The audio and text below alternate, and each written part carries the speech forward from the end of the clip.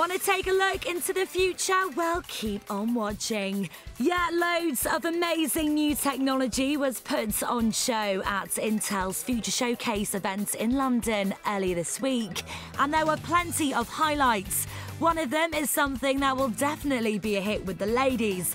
It's called the Magic Mirror, which is basically a device that will enable shoppers to try on clothes virtually. Sounds too good to be true, right? Vivine Akhtar from Intel can tell us more about it. And what it allows you to do is create a 360 virtual avatar of yourself, which is as realistic as possible to what you look like, what your measurements are, so that when you go shopping online, the online shopping experience is much more um, realistic and when you're buying um, clothing online, you're more likely to be able to buy clothing that fits you exactly because it's based on your measurements. Wow, it looks like we won't ever have to step foot in a shop ever again.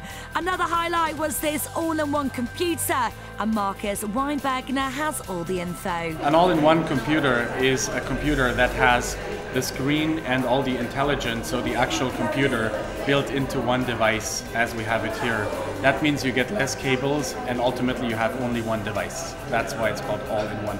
Looks very snazzy, but come on, what's the price tag?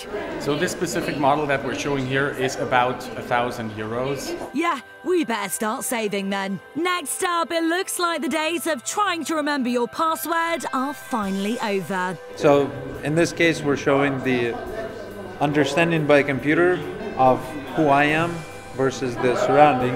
As you can see right now, it's actually looking for my face. So if we're gonna show it my face, it's gonna recognize and it's gonna log me in. So, so my face recognized, logged me into my account. And don't you just hate it when you can't see out of your windscreen when driving in torrential rain? Well, there might finally be a solution. What we're showing here is the um, seeing through rain technology. It's a joint research project with Intel Labs and Carnegie Mellon University. And in this demonstration, what we're showing is a concept and a prototype headlight for an automobile that can literally see through the rain. Uh, with the goal of trying to eliminate those distracting streaks that occur when you're in a heavy rainstorm and you see the rain passing in front of your headlight and creating these reflective dots that you're always having to look past to see the road.